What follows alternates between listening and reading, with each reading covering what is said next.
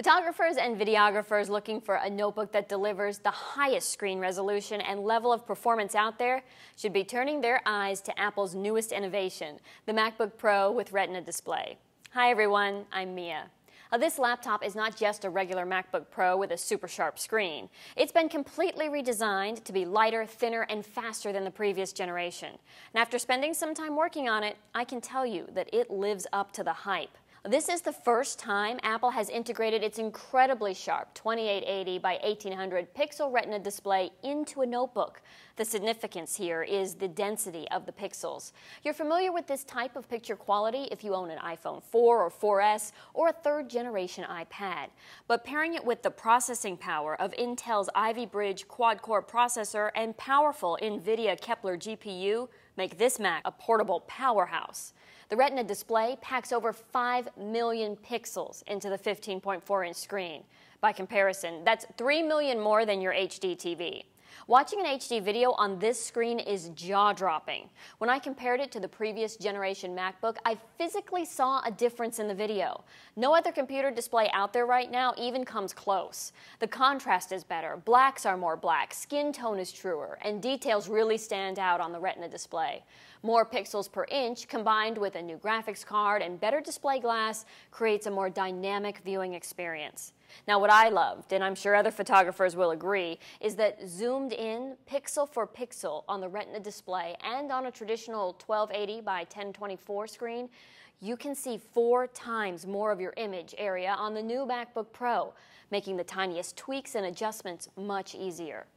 We found that the viewing angle of 178 degrees makes it easy for multiple people to watch the display at the same time, even at a sharp angle. The entire OS X Lion operating system as well as Mountain Lion support the Retina display, so anything you view in iPhoto, iMovie, and Preview will have that same stunningly clear quality. The same goes for Final Cut Pro 10, where you can stream up to nine camera views simultaneously. Now this brings a whole new level of efficiency to video editing. Aperture, Apple's photo editing app, also supports the Retina display, and Adobe says that an update to Photoshop CS6 is in the works. The downside is, outside of the apps I just mentioned, not many others support this pixel-dense display yet. Safari and Chrome are the only Retina-friendly web browsers right now, and reading text in Safari is as easy as reading a printed page, no more squinting needed. But most of the images you'll find online are not high res, so you can't truly enjoy Retina in its full glory by just surfing the internet. It probably won't be long before most big name apps catch up, but it may be a while before all of the online world gets on pace with Apple. The new MacBook Pro comes with anywhere from 256 to 768 gigabytes of flash storage and 8 or 16 gigabytes of RAM. Now, once you decide how much memory you need, you have to stick with it because one of the ways Apple made this laptop thinner is by soldering the RAM to the logic board, so you can't upgrade it later. I breezed through day-to-day activities on this notebook. It's fast and delivers the kind of multitasking efficiency you expect from Apple.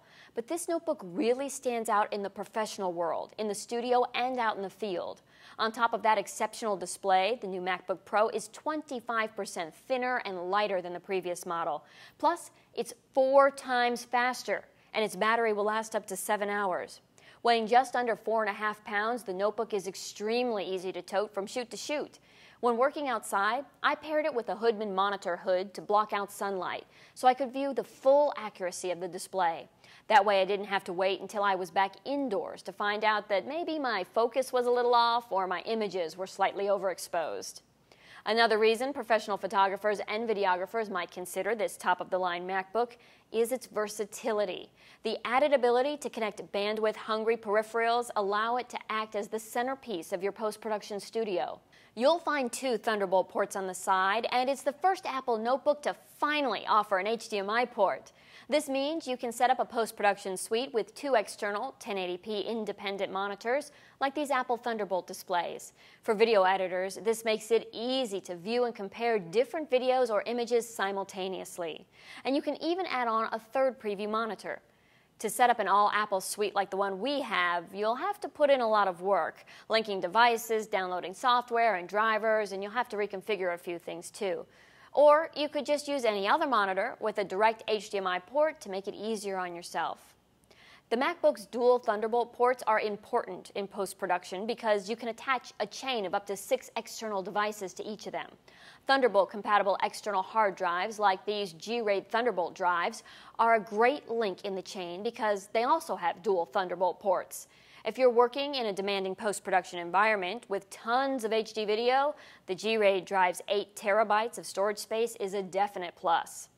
Of course, the device at the end of your daisy chain only needs to have one Thunderbolt port, like this Blackmagic Design Intensity Extreme. This device provides a simple way to capture and playback standard and high-def video from an analog component or S-video source, as well as HDMI. So when I attach it to an HDMI-enabled camera, it can either capture recorded footage upon playback or input uncompressed video directly from the image sensor while I'm shooting. This lets me capture video or stills to the MacBook Pro in an uncompressed or compressed state and import it right into compatible software for editing immediately after capture.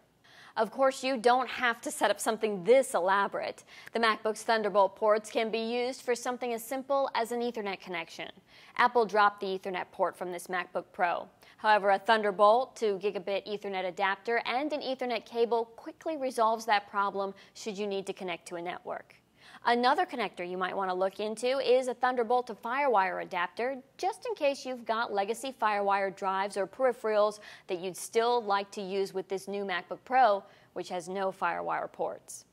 In addition to the two Thunderbolt ports and the HDMI port, this notebook also has a few standard features like a SDXC card reader and two USB 3.0 super speed ports. Phew! All told, this lightweight notebook is by far the most powerful, portable computer Apple has on the market. Instead of using standard parts found in their other laptops, they've re-engineered new ones to make this MacBook Pro with Retina display unique in their notebook line. I'm Mia McCormick. Thanks for stopping by. For more information, please visit us online, give us a call, or stop by our New York City Superstore. You can also connect with us on the web